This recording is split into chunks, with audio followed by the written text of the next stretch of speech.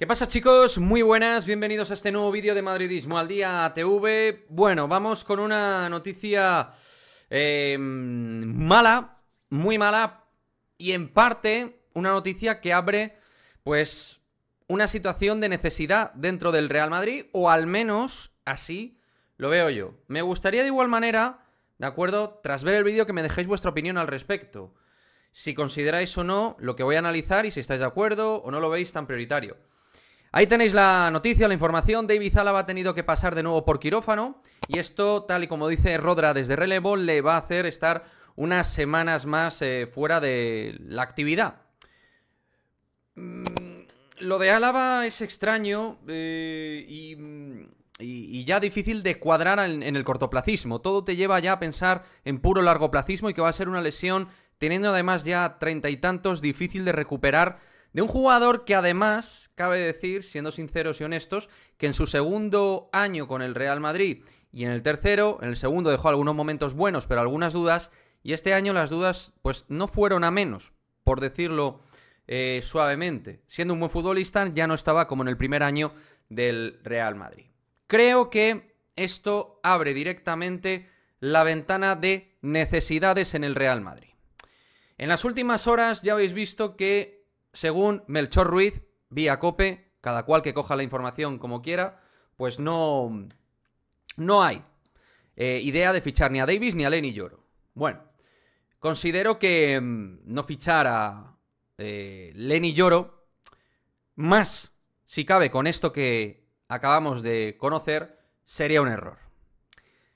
Creo que a la hora de ocupar el espacio de Nacho, que casi con toda probabilidad va a salir, y teniendo en cuenta que David Álava pronto y bien no va a empezar la temporada con este problema físico, estás con dos centrales, uno recientemente salido de una lesión grave como Eder Militao, un central de garantías por supuesto como Rudiger, un parche como Chouameni que además ha confesado que no le gusta jugar de central. Es decir, hay una necesidad y hay que invertir. Y yo entiendo que Rafa Marín es un hombre de la casa, te da cupo, ha hecho una buena temporada con el Alavés, pero no necesitamos un mini parche, como puede ser Rafa como cuarto, porque el que parece que es cuarto central a veces tiene que jugar muchos minutos. Caso evidente de Nacho Fernández en algunas temporadas con el Real Madrid, que cuando parecía que iba a jugar poco, de repente se te lesionaba Ramos, Barán, tal, y Nacho con Militao tuvo que hacer de titular en la 2021 estando, por ejemplo, digo, por ejemplo, en ese año de cuarto central.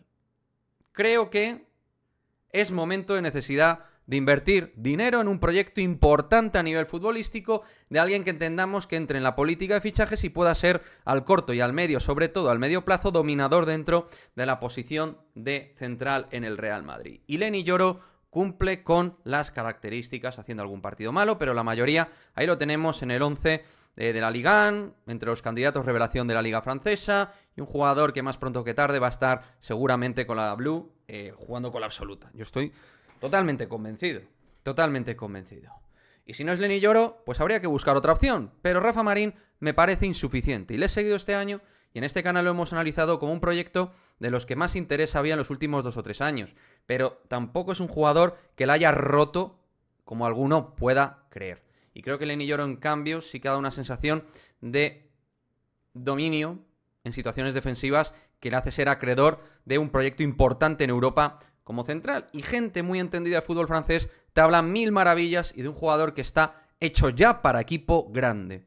Creo, insisto, que esto de David Álava debe abrir más si cabe la mente al Real Madrid como club a la hora de ir a por un central y si hay que meter 40, 50 millones por Militao, por ejemplo, sin llevar mucha carrera en Europa, pues oye, se apostó por él, era un chaval bastante joven, creo que llegó con 21 o 22 años.